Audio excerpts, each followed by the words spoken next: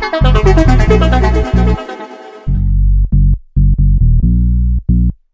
name is James Blaha, and I'm building a virtual reality game to help people who have crossed and lazy eyes improve their vision. I have been building games kind of as a hobby for the past couple of years, so it seemed like a natural extension of my hobby to also try to fix my problem through games. Um, I was born with a lazy eye.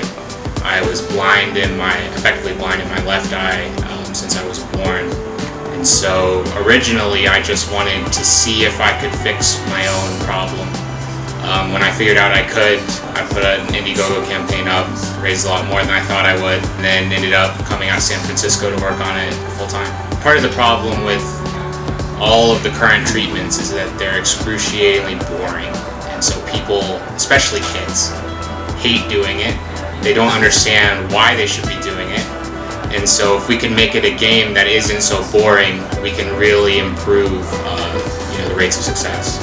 So to figure out the user interface, we just try to build a whole bunch of different things as quickly as possible and put them in front of people and see how they react. I want to see people playing Diplopia at home an hour a day or less by making the time period per day lower, but also making it easy to do that. I think we could really improve um, the experience for all these kids who grow up with uh.